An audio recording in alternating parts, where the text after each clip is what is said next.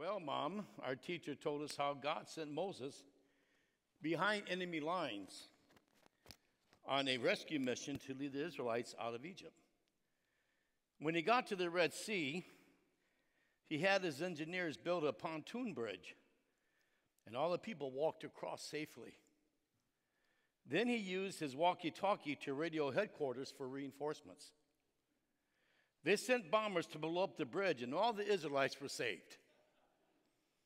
Now, Johnny, is that really what your teacher taught you? His mother asked. Well, no. But if I told you the way the teacher did, you'd never believe it, and you'd probably fall asleep. now, number one, don't fall asleep today. Uh, number two, you could take this little storyline and you can apply this any way you want. But how I want us to see this particular little story is this way God does things so differently than we can imagine. Think about it. Moses, raise up your stick, raise up your, your staff. I'm going to part the sea with a staff in your hand. I'm going to have wall of water on all the, both sides. You're going to walk across on dry ground. You're going to get all the way across.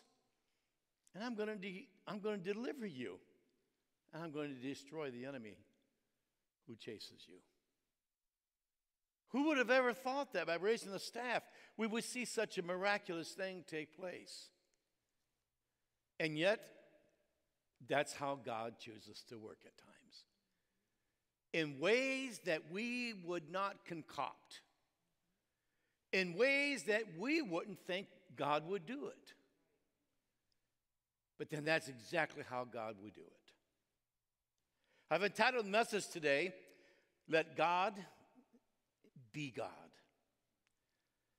In Isaiah chapter 45, in verse 5, it says, I am the Lord, and there is no God but me. I will equip you for battle, though you have not known me. Even though there isn't all there is, even though we don't know all there is about God, how magnificent, how great and, and, and wonderful He may be, while we don't even have a clue how grandiose God is, it doesn't stop God from fighting our battles. It doesn't stop God from being who God is. It doesn't stop God from doing what God does. I want to read a few scriptures to you from Proverbs, and I want you to think about what they're saying. How we might uh, uh, apply this thought today. I'm going to start with Proverbs, the first four verses of chapter 16. It says we can make our own plans, but, say but, but the Lord gives the right answer. People may be pure in their own eyes, but, say but, but the Lord examines their motives. Commit your actions to the Lord, and your plans will succeed. Commit your actions to the Lord, and your plans will succeed. I, I believe what that implies is that as I walk in obedience to the Lord and submit to Him on a daily, regular basis, that in doing that, I, I am enhancing the opportunity of falling right into naturally what His plan is for my life because I'm walking in obedience to His word.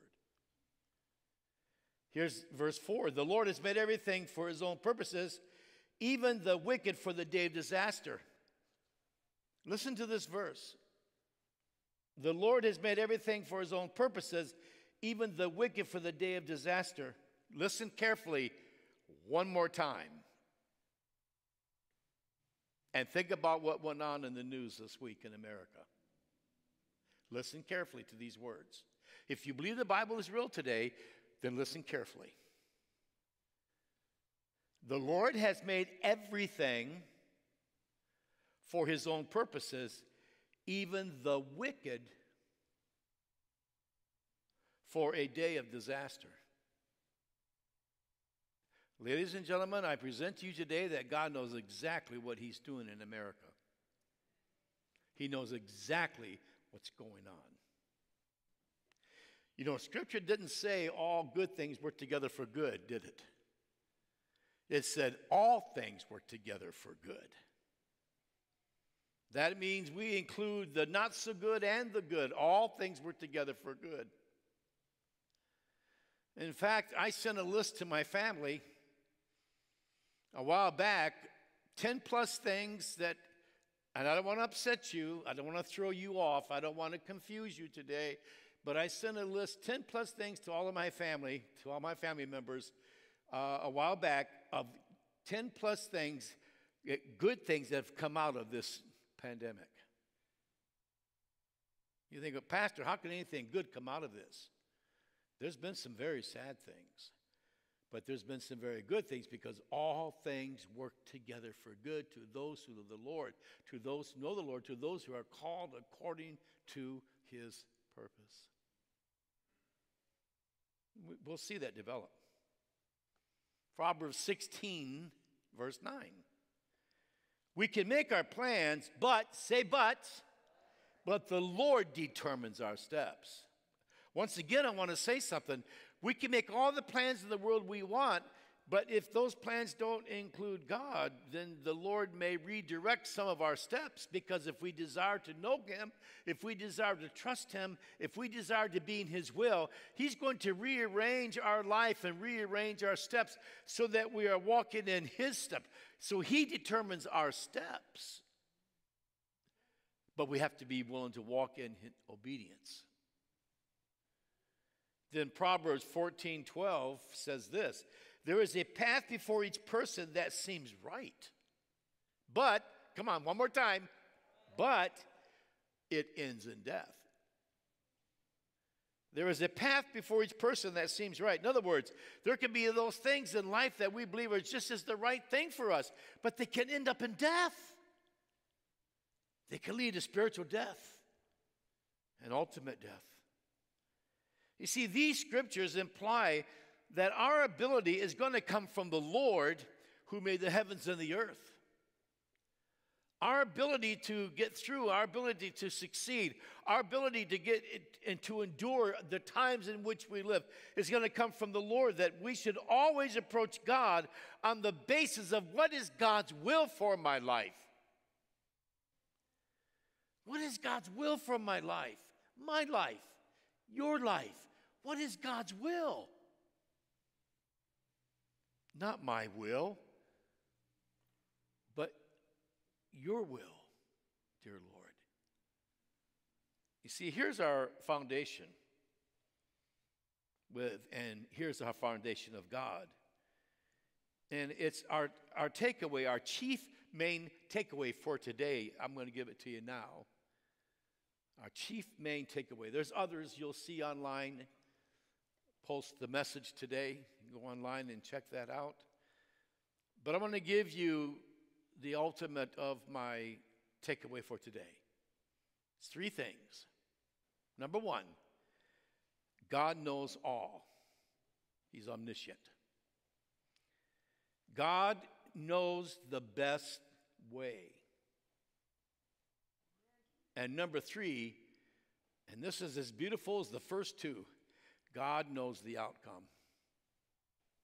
God already knows the outcome, He already knows the end result, ladies and gentlemen, of all that ever happened, is happening, and will happen in history, all at the same time. And, ready for this? In all of our individual situations that we will ever go through, that I have been through, that I am going through, or will go through in the future, God knows it all. He knows the best way, and He knows the end result of all of that. So I want to get technical with you today. I want to break English protocol. And I'm going to just do hair splitting semantic warfare with two words I want to get technical on defining words today, and I want you to follow with me and allow me the latitude of just going off here. I want to speak to you today on waiting before God versus waiting on God. Waiting before God versus waiting on God, because I personally believe there's a difference between the two. That's where I'm going to do some hair splitting with you English, English majors and word people. So, following church today, you, well, you folks may go to a restaurant, let's say. So, when you go to the restaurant, you sit down, and all of a sudden, the waitress or waiter comes in and starts serving you food. Starts waiting upon you and puts all this food and this drink on the table. You look at the server and you're wondering, what in the world are they doing? What are you doing waiting on me? I didn't order this. What are you doing? I don't want a cheeseburger and french fries. I got to have a salad instead. I, I, and this server starts serving you all this food. And you're wondering, well, what? I, I don't get this. As opposed to, a waitress coming or waiter coming to your table and standing there with a pad and pencil and saying, May I help you? And you sit before them and you peruse the menu and you start asking questions like, Well, what do you, do you recommend here? I've never been here before. How are your salad's good? Or do you recommend cheeseburger and french fry? What do you recommend? I've never been here before. And you, and you dialogue and you're communicating. You're sitting before the server, the server's standing before you, and you're having this conversation and you're ordering your food. Well, you go ahead and you take time, you order your food, and a few minutes later, here comes your food, and it's what you've ordered. It's exactly what you ordered. And they check on you and they begin to serve you they're waiting on you through this whole ordeal. Now, I want you to take this principle and I want you to apply it to a spiritual sense. There's certainly nothing wrong with going out of here today and waiting on God. There's certainly nothing wrong with going out and doing your business for the Lord, your daily life, and doing things for the Lord and ministry for the Lord and taking care of your family, et cetera, et cetera, going to work, et cetera, et cetera doing all that we're supposed to do, waiting on God that way. But if if I never stop to wait before the Lord, I'm missing out on how to better and how to more effectively wait on the Lord in serving God. Let me give you a few examples of what I'm talking about. You have Moses who had tw- two experiences with 40 days and 40 nights getting the Ten Commandments, where God set Moses aside to work with Moses and prepare Moses. There was that time, I think, for what, 40 years, he was in, in the backside of the desert after he killed that one man. Didn't come back on the scene, what, for 40 years? Two different times, it's 40 days and 40 nights in the mountain. We read about Jesus, he had 40 days in the wilderness where he was tempted by Satan three different times, where he was in preparation for ministry. We read about Paul. He had three years in the backside of the desert, if you recall. Years of preparation. You have Mordecai and Esther. For three days, they fasted and prayed.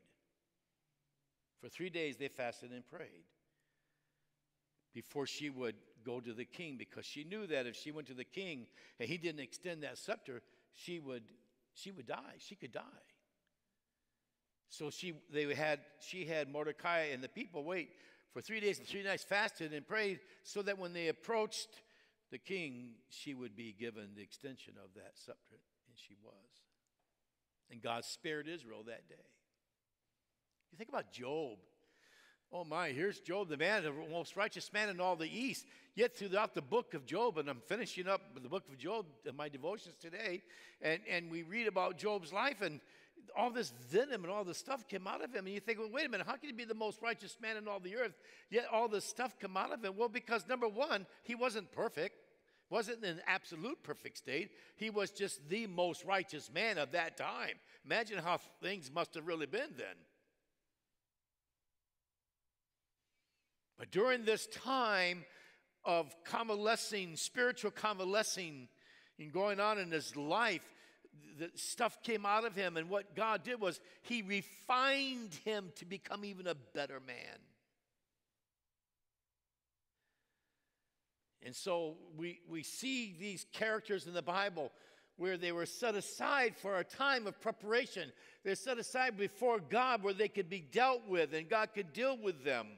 God could prepare them. In fact, the, the number 40 in Scripture signifies, if, if you look this up and check me out, I think you'll find that the number 40 in the Scripture signifies a period of trial, a period of testing, a period of probation. It's a period of preparation.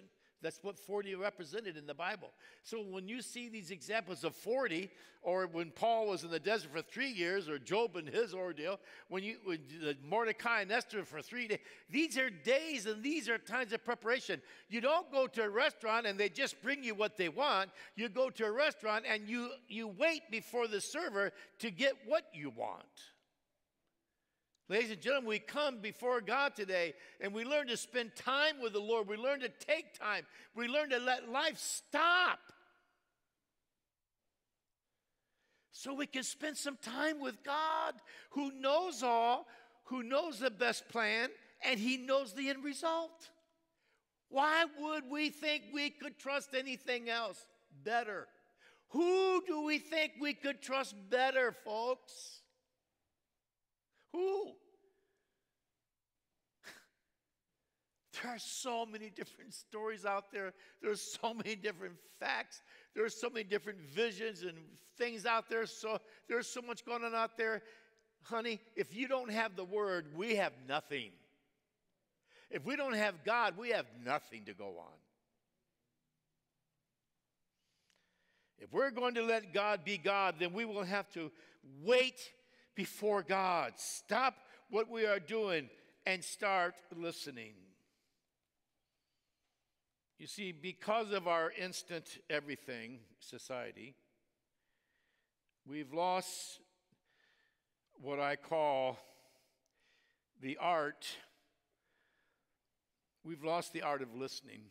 We've lost the art of waiting. We've lost the art, spiritual art, now I'm speaking of, the spiritual art of sitting before the, and in the presence of God.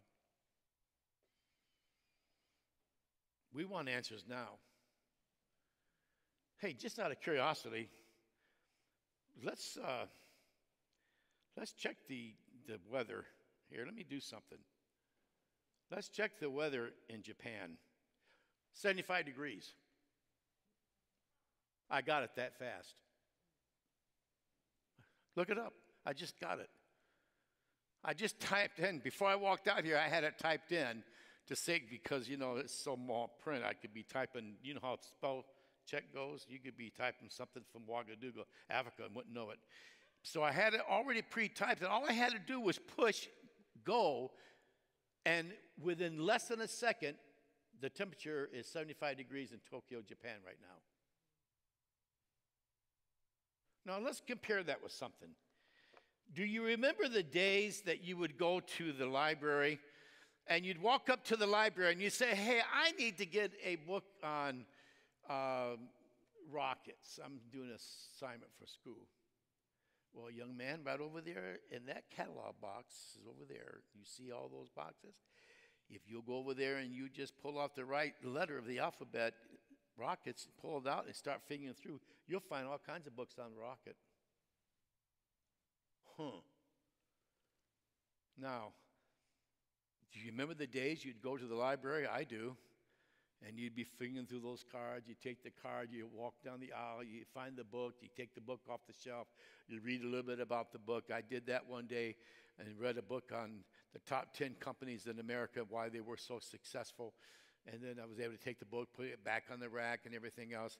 Whereas today, by the way, the librarian wouldn't go get the book for us because they wanted us to learn how to do it. But look at all the time that took. Today I can just type that in, get the top 10 companies, bada bing, bada boom.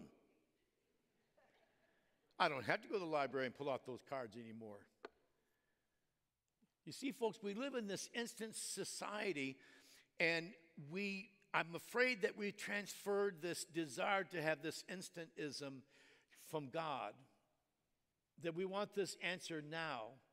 We want it all and we want it now. Now, we serve an instant God, but we don't have a God that necessarily responds instantly. Because while we want answers now, ready for this? God wants our attention. God wants our time. And I apologize. I see some of you folks are fanning. We are having air condition problems today. Sorry about that. Just I saw you fanning and wanted to explain that to you. You see, we want answers now, but God wants our attention. So let's examine the importance of waiting before God. All right, let's let's examine that. I want to take us to a storyline in Judges 20. Judges 20. We're going to take a look at three prayer meetings, three times of prayer approaching God. In this particular story, it's the story of all the other tribes coming against the Benjamites because of a gross sin that the Benjamites, some Benjamite men committed against a Levite's concubine. Now, in Bible days, God did not ordain that these people have concubines, they just did it. That was disobedience. A concubine was a lady who was, I call, the assistant wife. She wasn't the original wife of the gentleman, but was an assistant wife, was an extra wife, if you please. trying to be very delicate. I don't know all children who are listening today, trying to be very delicate here. And so uh, he thrusts his concubine out to these men uh, who want to do some bad things to this Levite and uh, who was a guest in the town he was in, Benjamin town. And um, so they abuse this woman all night long. When he realizes the next morning that she has died, he takes her and he dismembers her body, sends it out to the rest of the tribes, and says, What are we going to do about this? To the Benjamites who did this to my concubine. And so they rise, raise up this army to come against the Benjamites. And the Benjamites refuse to turn over these few men who had committed this heinous act to this lady. Now, during this time, there are two types of things going on. We have the sin of the Israelites for walking in disobedience, being talked about in chapter 19. And then you've got the, dis, the, apost, the apostasy of the Benjamites who have just totally turned their back on God. And these men did this horrific thing, and the rest of the city would not release these men to be judged and taken care of properly. So there's this apostasy of the Benjamites, and there's a disobedience of the Israelites. So God's got his hands full with his people.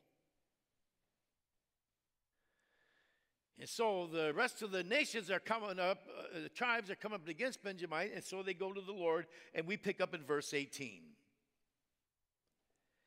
It says, Before the battle, the Israelites went to Bethel and asked God, which tribe should go first to attack the people of Benjamin? And the Lord answered, Judah is to go first. So the Israelites left early the next morning and camped near Gibeah. Then they advanced toward Gibeah to attack the men of Benjamin. But Benjamin's warriors who were defending the town came out and killed 22,000 on the battlefield that day. Hmm. Oh, that's very interesting. They were told Judah was to go first. Judah goes first. 22,000 Israelites were killed. But let's, let's continue to be hair splitting today, shall we? Did you notice that God didn't say when to go? All God said was Judah's to go first. He didn't say when. So nothing is said about preparation. They don't ask God what is the preparation. You know, in other stories in the Bible, they, they knew what the preparation was, or they would they would they would want details. Well, let's go to the second day. But the Israelites encouraged each other and took up possessions again at the same place they had fought the previous day. For they had gone up to Bethel and wept in the presence of the Lord until evening. Okay? This isn't the server coming and doing and serving. This is them taking time now, isn't it? Taking time, weeping before God. They had asked the Lord, Should we fight against the relatives from Benjamin again? And the Lord said, Go out and fight against them. So the next day they went out again and fight to fight against the men of Benjamin, but the men of Benjamin killed another 18,000 Israelites, all of whom were experienced with the sword. Go out and fight against them. Now, I, I, listen carefully, and I, I, want, I welcome your emails. I welcome your text. You won't even have to sign them. Isn't that sweet of me? But I'm going to be hair splitting with you again. Once again, I want to say to you, even though he said, go out and fight against them, God didn't say when. He just said, go. He didn't say when. And they waited until evening. They prayed and they wept until evening. But they still got defeated.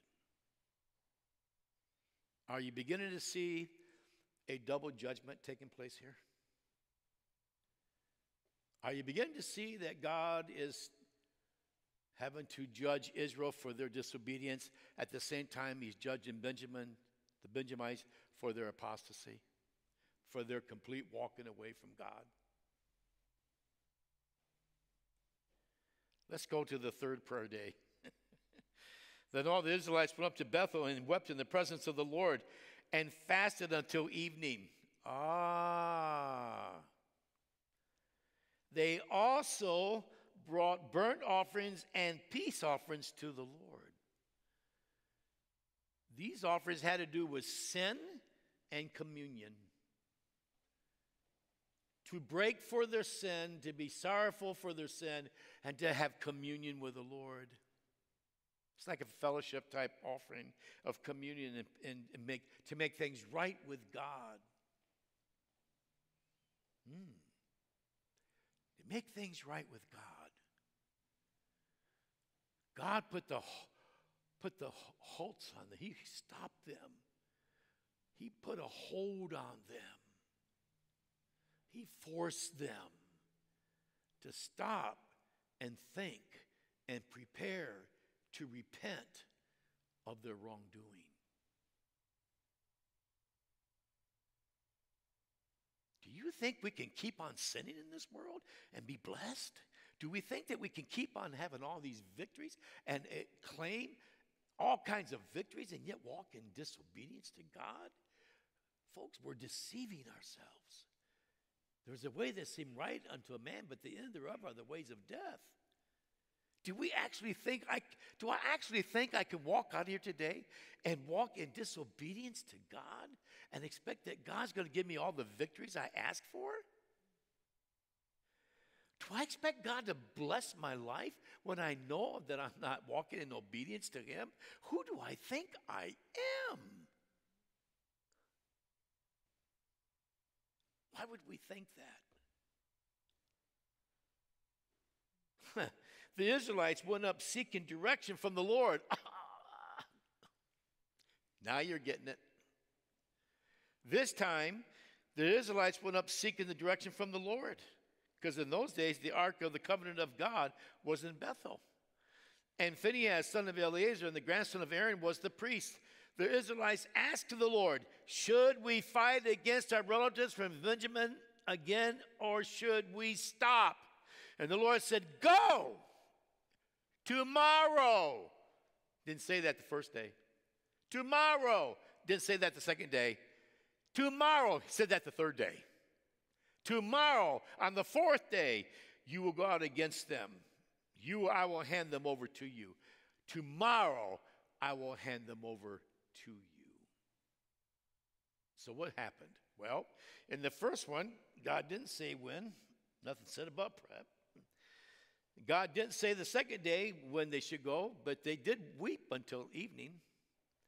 But on that third day, they wept, they fasted, they brought burnt offerings, they brought peace offerings, they asked God for directions, they asked God for how to do it. They spent time waiting in the presence of God for a long enough and enough time and asking the right questions, opening their heart in the right way, repenting of their sin in the right way, offering their communion and fellowship with the Lord the right way, and as a result, and then, and then only did they hear from the Lord. Tomorrow you will go out, and I will hand them over to you. And guess what happened? Well, because it was clear, they went out and they won a great, great victory. So, what is God doing? Well, He accepted the offerings of the Israelites for their disobedience, and He punished the Benjamites for their apostasy by destroying their soldiers and killing their men.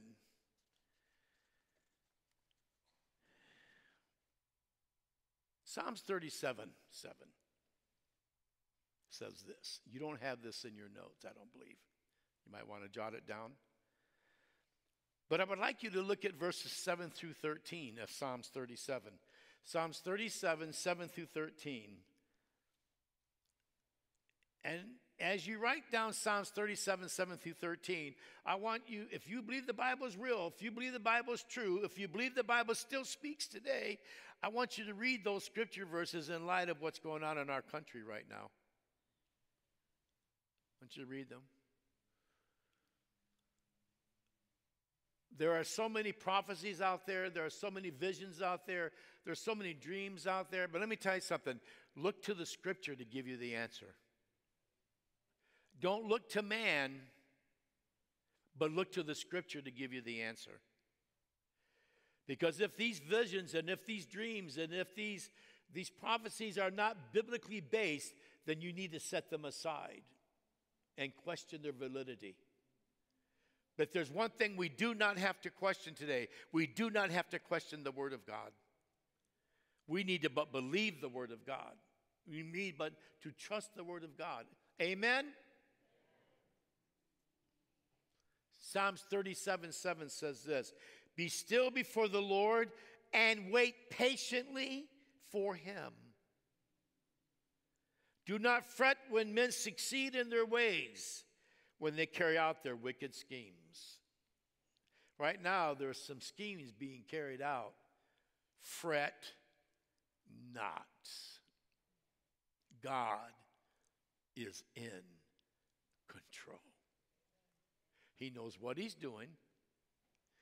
He knows what the plan is, and he's got a plan. And he knows the end result. Does it include the rapture right now? We don't know. It could.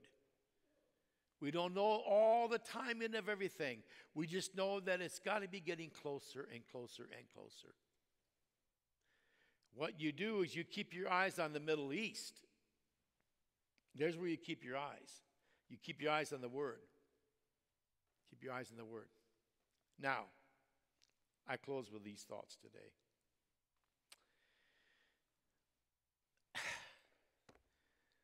Have you ever said to your spouse, Hon, are you just going to sit there? You just going to sit there and do nothing? You just going to sit there all day? You ever said to each other? Ever said that to your kids when the room isn't cleaned yet? Really? You just going to sit there? Sometimes those words can come back and haunt us. They came back and they haunted Martha one day. Here's what the scripture says in Luke chapter 10, verses 38 through 42. As Jesus and the disciples continued on their way to Jerusalem, they came to a certain village where a woman named Martha welcomed him into her home. Her sister Mary sat at the Lord's feet listening sat at the Lord's feet listening. You go to the restaurant and you sit before the server. You don't go to the restaurant and they start serving you what they want to give you. Please see the simplicity of this. But Martha was distracted by the big dinner she was preparing. She came to Jesus and said, Lord, doesn't it seem unfair to you that my sister, listen to these three words, just sits there?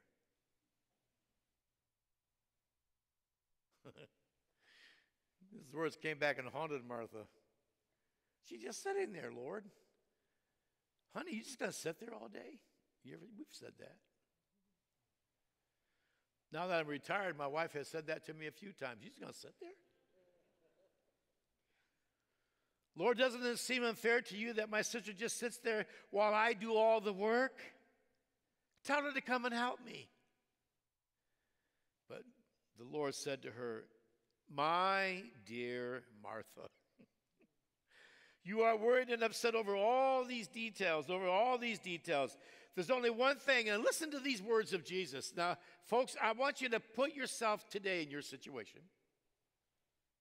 I want you to think about all that's going on in our country, all that's going on in our world, all that's going on in the workplace, all that's going on in our home, all that's going on in life, all that's going on in our relationships, all that's going on in our family, all that's going on in our marriage, all that's going on in the chores, all that's going on in all the have tos of life, and all the dailies of life, and all of life, I want you to remember this one thing. Listen to what Jesus said. There is only one thing worth being concerned about. And that was this Mary has discovered it, and it will not be taken away from her. What was it? What was it? What was the one thing worth being concerned about? That Mary was just sitting there.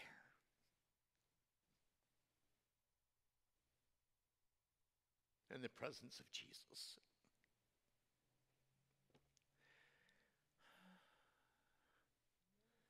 We've got all of our concerns on top of everything. And Jesus wants to be on the top. And he wants your concerns to be below you. And that the only concern we need to worry about today is doing the better thing.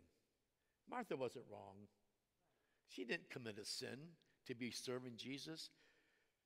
She wasn't doing a sin to be preparing this meal. It's just that Jesus was saying to Martha at this time, at this time, Martha, don't misunderstand, Martha, you're not doing something sinful. But just at this time, Mary's doing the better thing. She's doing the thing that's more important. Ladies and gentlemen, we're living in an hour that the most important thing we could be doing right now, believe it or not, believe it or not, and I'll let you fire at me with everything you've got, and I will, I'll take the word of God and disprove everything you say. There's nothing more important right now in this world that we should be concerned about than making sure that in all that we do, we're just sitting there, also in His presence, connecting with God, being close to God, being in His presence. Ultimately, when you think about it, nothing is more important than taking time to know God. Why, folks? Because God knows all. Because God has a plan and because God knows the end result. Therefore, we can put our trust in God today. And we can put our trust in His Word. And everyone said, Amen. Amen. Let's pray. Our most gracious Heavenly Father, today, we are grateful for the example that you gave us through Mary that taught us the importance of just sitting in your presence. Lord, if we've got time to sit and watch TV, or sit and read a book, or sit and play a game, or set and scour the temperature in Japan, whatever, then we've certainly got time just to sit in your presence. that the greatest concern we should be concerned about is are we spending enough time with you to prepare us to know you and to prepare us for a future? With things that are happening in our world today, things that are happening in our country, Lord Jesus, we just turn it all over to you. We turn it all over to you. We turn it all over to you, Lord. We do our part. We pray. We serve. We do wait on you. As we go about every day of our life waiting on you by serving you, by giving food and clothing to the poor and, uh, and the hungry, and, and, and letting our light shine and being honest with our our taxes and being honest with our work and doing everything we're supposed to do and walking in obedience to you. That's serving you. That's that's that's waiting on you. But then there's the sitting and waiting in your presence and stopping and just waiting before you getting before you kneeling before you getting before you in your presence and just absorbing your presence. Listening to your voice. Listening to the application of your word. And Lord, thank you that we have your word. It already tells us what to do, it already shows us what to do. And there are times we need to know the timing, there are times we need to know the how to's, Lord. So, God, we submit ourselves to you. And I pray today, Lord, if there's anybody in this room or those online today into their homes that Jesus, they know they don't know you and they need you, that right now, by simply praying, Jesus, I need you. I want to know you. I want to experience you. I need you. I invite you into my life. I ask you to forgive me, Lord. And I invite you into my life. I accept you as my Lord and Savior. And I ask you to help me, Lord, to be who you'd have me to be. Lord, I just pray now that you'll encourage the heart of your people. And anybody would pray that prayer that God, you would save them, completely, fully to the uttermost, and you'll grow their lives. Lord, we just pray that you continue to watch over many of our people that are traveling. And Lord, we just look forward to the day that we can just all return. And so, God, may we not lose desire. May we not lose interest. May we not lose our faithfulness. But may we remain faithful to you, Lord, and true to you, and walk in obedience to you. And thank you that you know all things. Thank you that you know the best way. And thank you that you know the end. And everyone prayed in Jesus' name. Amen. God bless you.